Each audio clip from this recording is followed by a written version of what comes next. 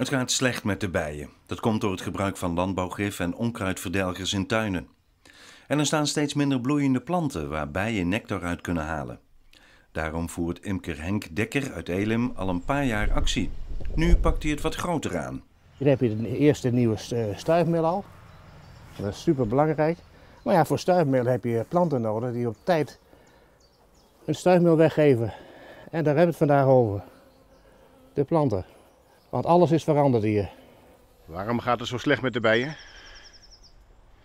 Over de hele wereld met de verdwijnziekte. Met de, en verder hier zo in de buurt. Alle, de biodiversiteit is veranderd. Bij de huizen zag je vroeger alleen maar gras en dergelijke dingen. Het is allemaal stenen. Ja, en daar wil ik niks van zeggen. Mensen hebben te weinig bloemen in hun tuin. Juist. En die bloemen, daar gaan wij verandering in brengen. En daarbij krijgt imker Henk hulp van buurthuis Nieuw Moskou, al drie jaar.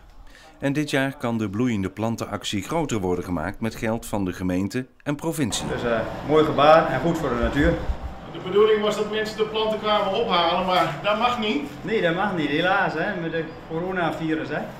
Dus we wouden morgen een leuk dagje houden hier zo, maar eh, dat gaat niet door. U brengt ze gewoon naar huis. Ja, we brengen ze aan huis.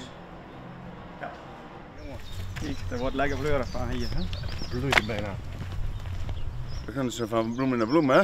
Voor de, voor de bevruchting van de vruchtboom die ik achter thuis heb staan. En wat heeft u besteld? Vlinderstruiken. Ja, nou, we gaan eh, de buurtbewoners helpen.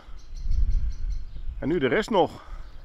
Ja, maar het begint al. We hebben in Nieuwlanden hebben we al mooie plekken bij een bos en zo.